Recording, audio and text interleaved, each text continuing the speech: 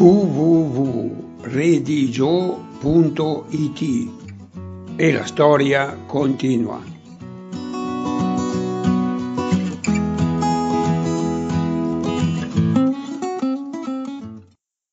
E ancora sui tatuaggi.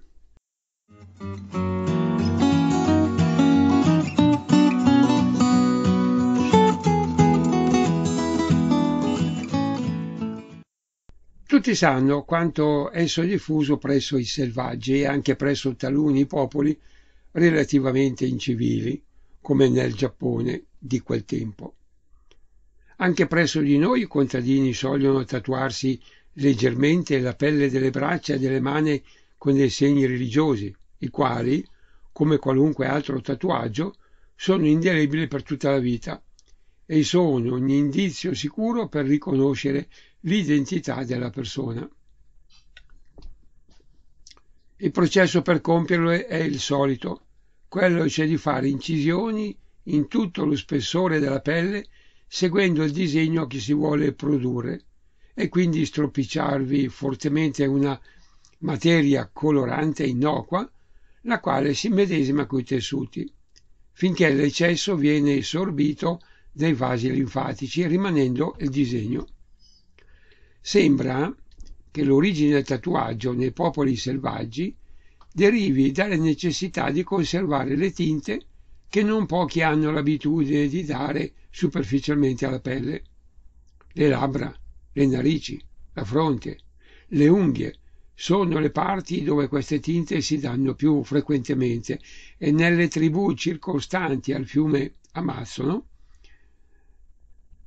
sembrano anche distinguere il grado dell'individuo. Il tatuaggio, che non sarebbe altro che la tinta fissata nella stessa pelle, serve spesso anch'esso come un segno di distinzione.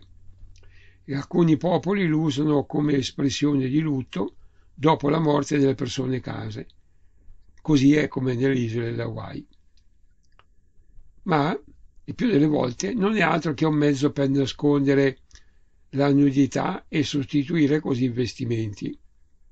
È innegabile infatti che quando su tutta la superficie del corpo sono sparsi disegni a tinte vivaci, l'impressione della nuda pelle è notevolmente scemata. Il tatuaggio è a semplici punture o a incisioni.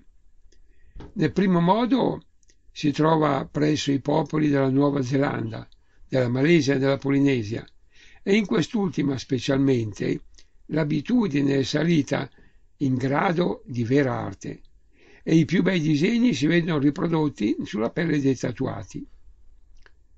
Nelle isole Viti, nelle isole Marchese e anche nella Polinesia si fa il tatuaggio per incisione, adoperando un coltello d'osso, introducendo materie coloranti tratte da piante indigene. Qualche volta stropicciano le ferite con piante corrosive per provocare il rigonfiamento della pelle in corrispondenza del disegno. In altre regioni il tatuaggio si fa a confini differenti. Nella Siberia orientale lo riguardano come un significato di prodezza o di abilità nella pesca nella caccia e l'operazione si esegue con solennità religiosa. Eh, bisogna notare però che quei popoli sono completamente vestiti. Presso gli indiani del Sud America è un indizio infamante, da poiché viene applicato su quei che parteggiano per le tribù nemiche o disertano durante le guerre. Nell'Africa si tatuano più di rado e con minore quantità di disegni sulla pelle, così fanno i Nyam Nyam, i Mombuttu, Bogo. Nell'Africa centrale, sulle rive del lago Tanganica, il gusto del tatuaggio è, è ancora coltivato. E qui la forma dei disegni vale a distinguere la tribù l'una dall'altra. Quello che è più curioso, che in quelle regioni del centro, come della costa africana, il tatuaggio si usa aggiungere operazioni di torsione o di sollevamento della pelle, che oltre a un vivissimo dolore e vera malattia, perché finché non è compiuta la cicatrizzazione e producono anche la completa deformazione delle parti e della fisionomia. Beh, del resto l'operazione a tatuaggio può durare parecchi mesi, secondo la quantità di disegni che si vogliono fissare. E siccome per sé è dolorosissima, così non tutti vi resistono e alcuni talora anche ne muoiono. Vi sono dei popoli come quelli dell'arcipelago di Palau, nella Micronesia, che si tatuano poco, malgrado il gusto o la tendenza per un simile ornamento. La loro costituzione fisica non li rende capaci di sopportare tutta l'operazione.